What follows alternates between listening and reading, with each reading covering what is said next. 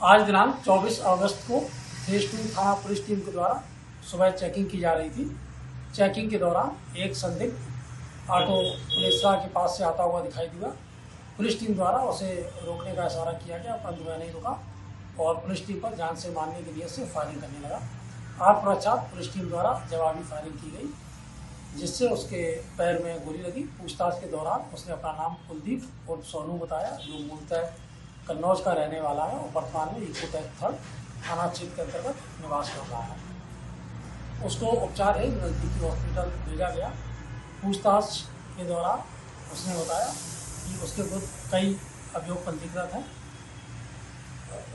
यह ऑटो चलाता है और जब ऑटो में कोई महिला अकेली रह जाती है तो उसको सुनसान एरिया में ले जाकर के उसके साथ अश्लील हरकतें इत्यादि करता है। इस संदर्भ में इसके पास से एक ऑटो, एक अवैध तवंचा, तीन सौ पंद्रह वो कार्टेज इत्यादि बरामद हुए हैं। अन्य व्यवस्थात्मक कार्रवाई प्रचलित है।